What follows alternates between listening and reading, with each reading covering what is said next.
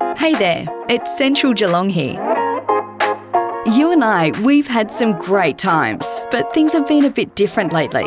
I'm really proud of the way our businesses and events are adapting. And as a UNESCO City of Design, I've been keeping pretty busy too. Behind the scenes, I'm planning our new civic precinct, renewed streetscapes for all, more green space, office buildings and inner city living. There'll be more art and culture, and there's plans for the waterfront and our beautiful laneways too.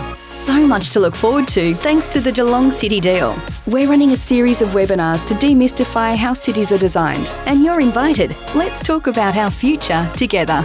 Join us in discovering the secrets to great cities.